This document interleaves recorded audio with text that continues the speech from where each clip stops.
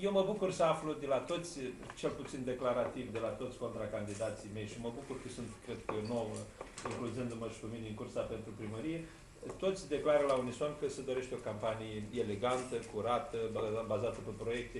Vreau să le spun că eh, lucrul ăsta îmi convine cel mai mult.